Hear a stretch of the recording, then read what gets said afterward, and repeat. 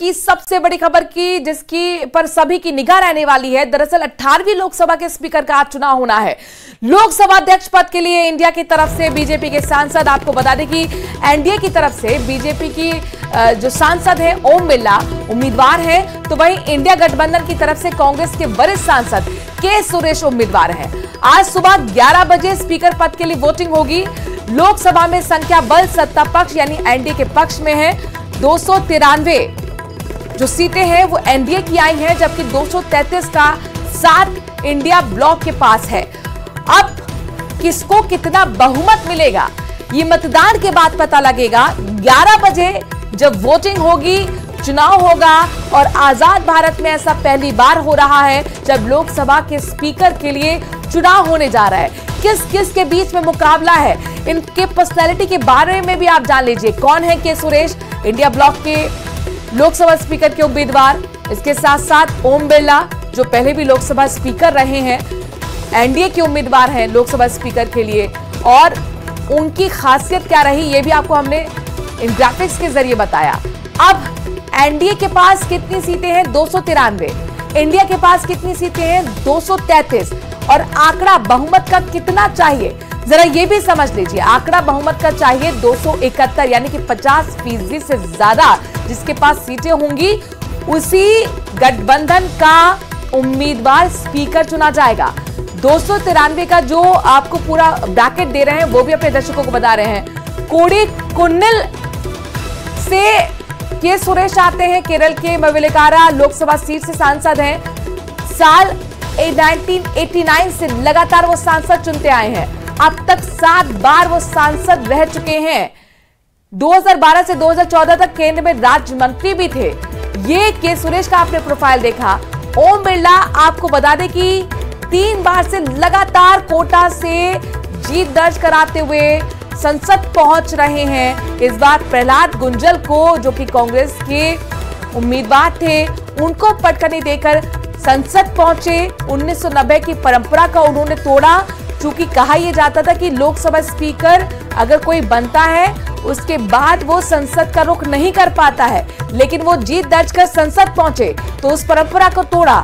और आज एक और परंपरा टूट रही है स्पीकर के लिए चुनाव भारत आज़ाद में पहली बार होने वाला है। तो भारत के संसदीय इतिहास में यह तीसरा मौका है जब लोकसभा स्पीकर को लेकर चुनाव होगा। एनडीए गठबंधन की ओर से पूर्व लोकसभा अध्यक्ष ओम बिरला को दूसरी बार लोकसभा स्पीकर बनाने की तैयारी है, जबकि कांग्रेस ने लोकसभा स्पीकर पद के लिए आठ बार के सांसद के सुरेश को प्रत्याशी बनाया है। और इसी बात को लेकर अब जंग छिड़ चुकी है।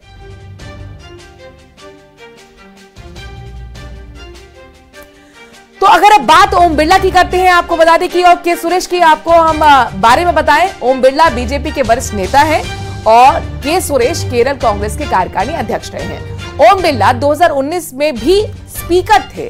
तो के सुरेश 2012 से लेकर 2014 तक केंद्रीय राज्य मंत्री रहे। ओम बिरला दूसरी बार स्पीकर बन सकते हैं। तो के सुरेश 1989 में पहली बार सांसद बने। ओम बिरला कोटा के बोरी से तीन बार के सांसद रहे हैं। तो के सुरेश केरल के मवेलीकारा से आठ बार सांसद रहे हैं। लेकिन सबसे बड़ी बात यह है कि बहुमत का नंबर ओम बिरला के पास है, जबकि के सुरेश को विपक्ष ने इसलिए मैदान में उतारा ताकि बीजेपी को मैसेज दिया जा सके कि विपक्ष भी मज़बूत है। आइए इस पर आपको एक खास रिपोर्ट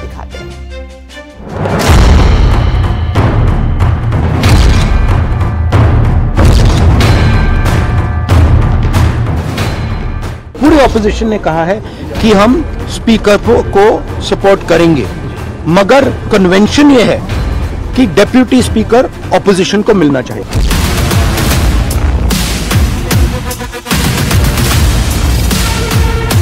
जो विपक्ष की मांग यही थी कि उपाध्यक्ष विपक्ष का हो। हमारी राय पार्टी की है, वो है कि उपाध्यक्ष विपक्ष का हो। लोकतंत्र के मंदिर का स्पीकर कौन होगा? किसके आदेश के बिना लोकसभा में पत्ता भी नहीं हिल सकेगा? इसका इंतज़ार एनडीए के साथ पूरे इंडिया गठबंधन को है, क्योंकि इस बार हर बार की तरह सर्वसम्मति से स्पीकर नहीं चुना गया है, और चुनाव के ज़रिए इसका फैसला किया जाएगा। बताइए, आज दिन तक कभी भी लोकसभा के स्पीकर का चुनाव कंडीशनल होता है क्या? कंडीशन के साथ होता है क्या? डिप्टी स्पीकर तय करो, तब हम स्पीकर में तुम्हारे को मदद करेंगे। और ये कौन कह रहे हैं? ये वो लोग कह रहे हैं जिन्होंने कांग्रेस की सरकार में तेलंगाना में स्पीकर भी अपना बनाया है और डिप्टी स्पीकर भी अपना बनाया है।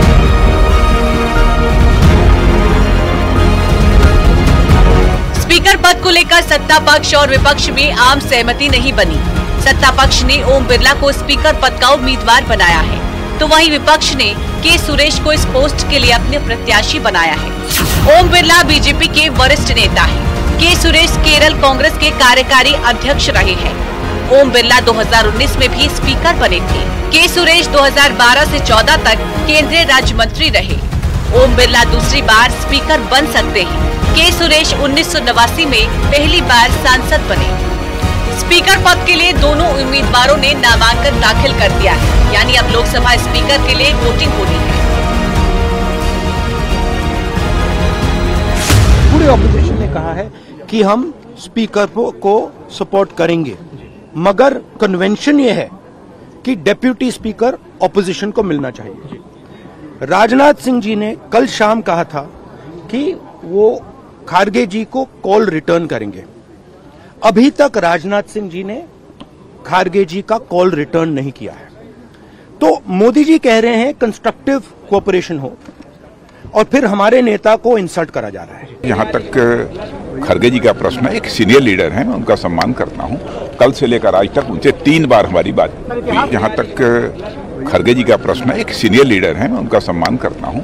कल से लेकर आज तक उनसे तीन बार हमारी बात हुई। दरअसल विपक्ष डिप्टी स्पीकर के पद की डिमांड कर रहा था और इसी के बाद ये तकरार भी शुरू हो गई।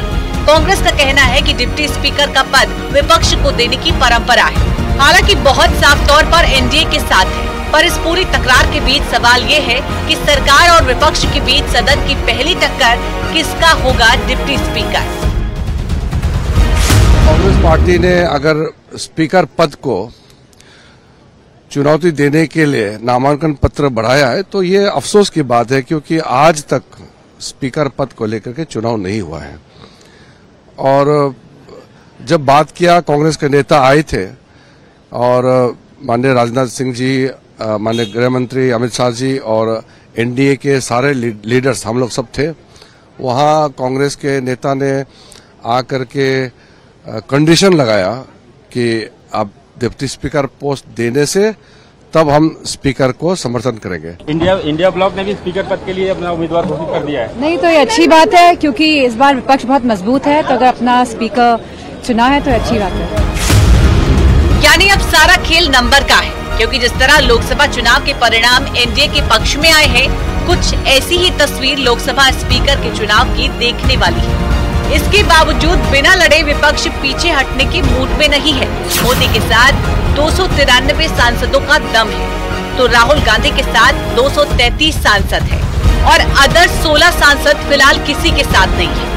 अब एनडीए और इंडिया गठबंधन की नज़र उन 16 निर्दलीय सांसदों पर है, जो एनडीए को 300 पार और विपक्षी गठबंधन को मुकाबले में बनाए रख सकते हैं, जो बेहद ही रोचक होने वाला है। Bureau report, news eighteen. Rahul Gandhi Lok Sabha में नेता प्रतिपक्ष होंगे। विपक्ष के इंडिया गठबंधन ने राहुल गांधी को लोकसभा में नेता प्रतिपक्ष बनाने का फैसला लिया है।